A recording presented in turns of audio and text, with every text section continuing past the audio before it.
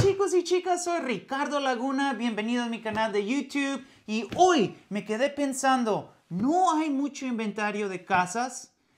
¿Eso quiere decir que nadie puede comprar una casa en este market?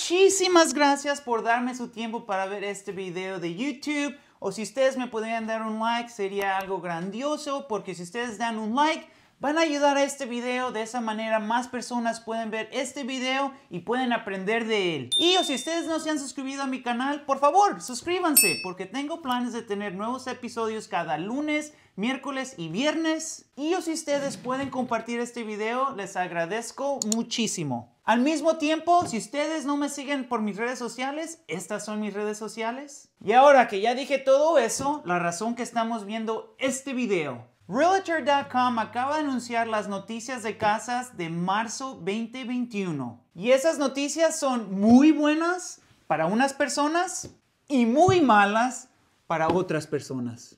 ¿Y qué quiero decir con eso? El inventario de ventas de casas ha bajado 52% comparado al año 2020. Y nacionalmente ha bajado 20% de propiedades nuevas que se pongan en venta. Y eso quiere decir malas noticias o si ustedes son los que quieren comprar una casa.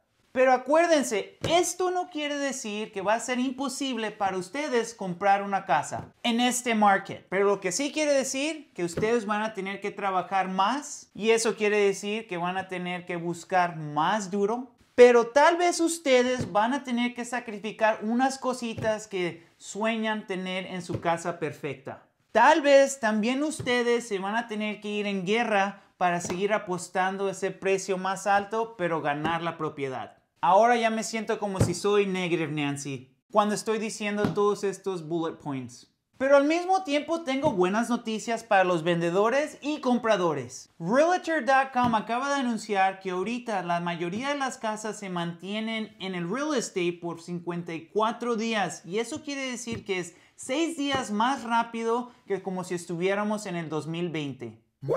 Eso fue muy rápido, Scooby. Y eso quiere decir que ustedes van a saber más rápido si tienen el trato y los vendedores o si vendieron esa casa. Entonces, para ustedes los vendedores, prepárense, porque el plan de vender su casa va a pasar más rápido de lo planeado.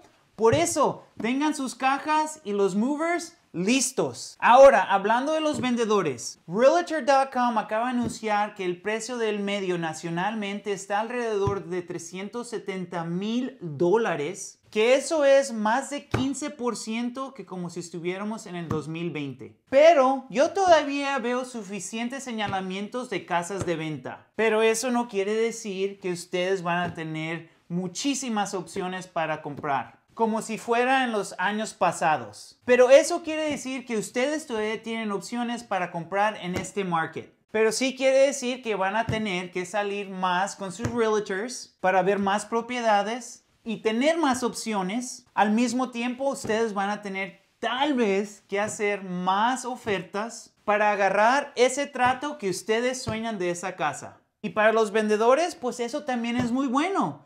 Y esa razón es, pues, que en la primera o segunda semana que la pongan en venta su casa, van a tener muchas personas que vengan a ver su casa y eso quiere decir que ustedes van a tener muchas opciones para escoger la mejor oferta que le dieron a ustedes. Pero también acuérdense, para todos ustedes que están poniendo sus casas de venta muy alto, eso quiere decir que tal vez ustedes no van a ser esas personas que pueden vender su casa en 54 días. Por eso, hagan su tarea. De esa manera saben cuál es un precio bueno para poner su casa.